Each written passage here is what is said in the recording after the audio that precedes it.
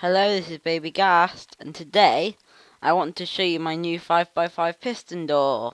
So, what this piston is, obviously, and I and I thought it was the world's smallest, but it definitely isn't. I know more than this. It's made by JonnyD and me. If you don't know who he is, he's a, another redstoner who I with on Xbox. He has got a YouTube channel, but I but I but it's not called JonnyD. I always forget. So yeah, we are redstoners and we built this. So it's five wide, seven long, seventeen high, six hundred and seventy-five blocks. Forty-five blocks smaller than the old one, but it is a lot slower. So let me show you it in action.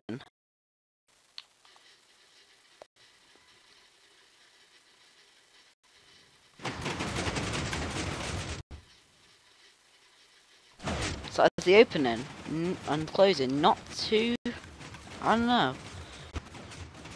So I've got some times down here telling you each circuit. This is the piston inputs, piston inputs, and this is the input circuit, like for the for the door and everything. This here is the bottom block storage. Actually, it is the bottom closing, not the block storage. And triple extender or also known as opening. Here we have the quad extender, which is the hardest bit. And here is extra moves that is like powering the quad extender again and storing the blocks from there.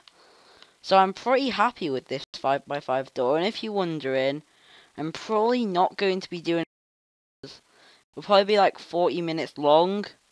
Or I maybe could but I'd have to do like one circuit a video, and I don't think you guys would want to do that.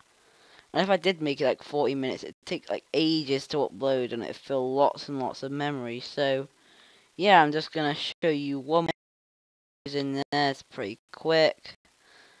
So the quad extender comes down, grabs that, triple extenders, that opens up, quad goes down again to grab those.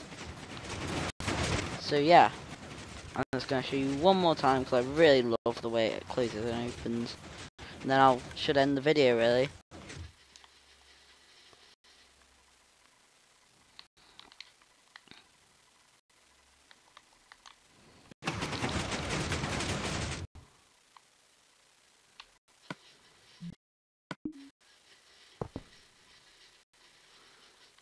So that is pretty much it.